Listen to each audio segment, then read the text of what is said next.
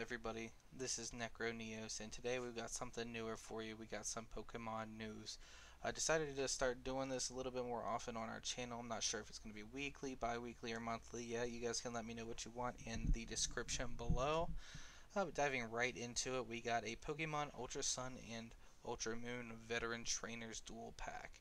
This dual pack is going to have uh, 16 art cards along with both games.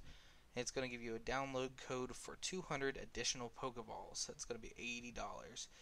Now, um, I think they also have a steelbook coming out for that, but I gotta say, it's a little bit lackluster. I was hoping maybe like little statuettes or um, a lot of games do like metal statues or toys or something along the line, something a little bit more collectible than art cards. Um, but that will be released Friday, November 17th um, of this year, of course. And for those of you who didn't know, uh, we currently have uh, Pokemon Sun and Moon, we still have Salazzle at GameStops.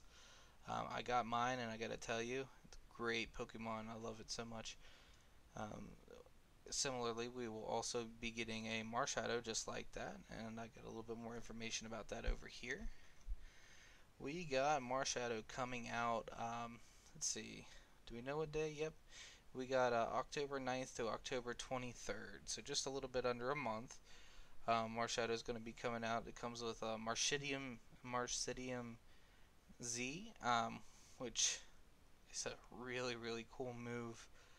Uh, let's see here. A little bit more information about that. You get uh, you get it from the delivery man, of course. It's a vent Pokemon. It'll always have perfect IVs and three of its six stats uh, because it is a mythical Pokemon one of a kind. It will always be level 50 with a technician ability, which is amazing. I believe it um, boosts the abilities power or the uh, Pokemon move power by 1.5. Um, you get Marshadium Z with it. You get Spectral Thief, Close Combat, Force Palm, and Shadow Ball as its four base moves. Seems to be Marshadow is actually going to be a more competitive Pokemon. It says uh, because of the three perfect IVs, um, you won't need to keep saving and resetting your game to get Marshadow with perfect stats. Uh, it says that it'll be directly playable and, to, and ready to hyper train, basically, except for being level 50. Um, I have seen a couple other YouTubers say that it's going to be a pretty competitive Pokemon. I'm not really all into that yet myself. I am uh, actually just started building my in-game team. So I'll see how that goes for it. I'm uh, really excited for it. It's a really cool Pokemon, ghost fighting type. Crazy, crazy. Let's go ahead and get on over into the Pokemon Go news. Now we have Legendary Beasts, Raikou, Entei, and Suicune uh, coming to Pokemon Go today. Actually, this is a couple of days ago. So uh, that was on August 31st. Niantic released how you'll catch these legendary beasts, Raikou, Entei, and Suicune in Pokemon Go. Suicune personally being my favorite.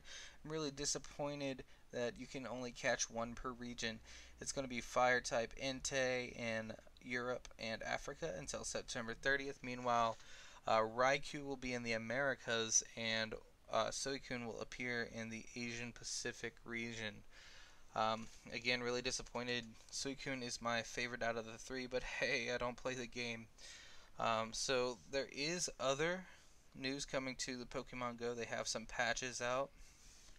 It looks like uh, there's several bug fixes for raids. Uh, double XP is now correctly displayed when using a lucky egg, and during the capture phase, creatures will no longer always break free from the final Premier Ball.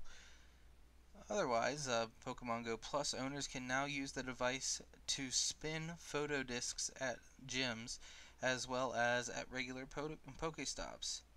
Finally, players can search their Pokemon collection by using the at character. So that's pretty cool, and it looks like we might be getting Mewtwo soon.